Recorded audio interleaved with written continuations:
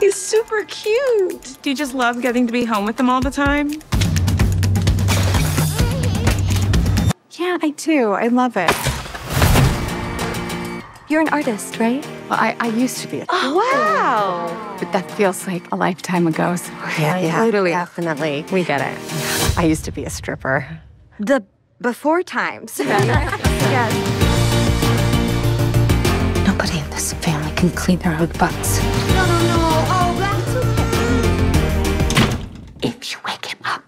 Will rip your throat out. Okay, for what it's worth.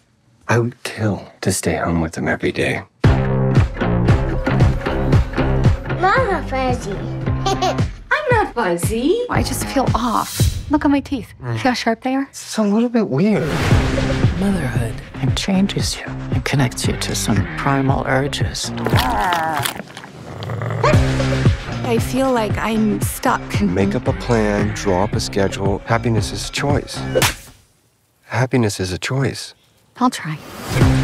I'm never going to be smart, happy, or thin ever again. Oh, and I'm pretty sure I'm turning into a dog. You're so funny. Do you ever feel like the big secret is that we are gods? We fucking create life. We are so powerful. What the fuck? I could crush a walnut with my vagina. I am a woman. I am an animal. I am Nightbitch.